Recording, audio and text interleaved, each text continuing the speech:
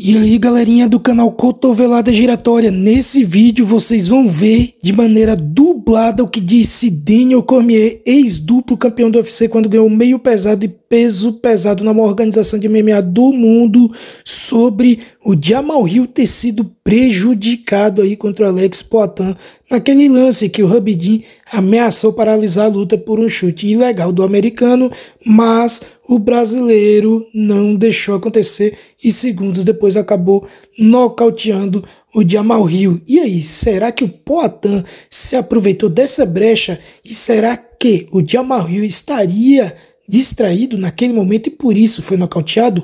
Olha só o que disse Daniel Cormier em mais uma declaração sobre esse assunto. Antes, vai se inscrevendo se ainda não foi inscrito, deixa o like se gostou do conteúdo e bora lá! Eu conheço Jamal Hill. Jamal Hill e eu, nós somos amigos. Jamal Hill nunca vai dar uma desculpa quando perde uma luta ou qualquer coisa que aconteceu na luta. E Jamal Hill e eu, a gente conversou ontem e estamos falando sobre a luta dele, como desenrolou. Jamal falou para mim o que você viu. Eu disse a ele o que eu pensava, então a gente meio que conversou e assistimos a luta de novo. E eu vi algumas coisas de maneira um pouco diferente depois de assistir com ele.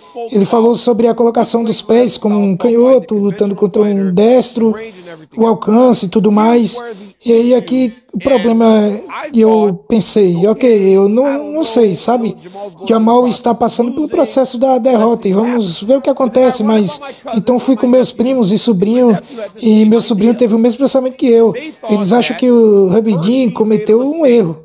Porque enquanto estamos todos perdidos é, na ideia de Hub vai intervir, Alex estende a mão e Hub dá um passo para trás, sempre que você tiver um golpe ilegal, eles, eles estão dizendo que deveriam ter sido separados e então voltamos juntos com um novo reinício.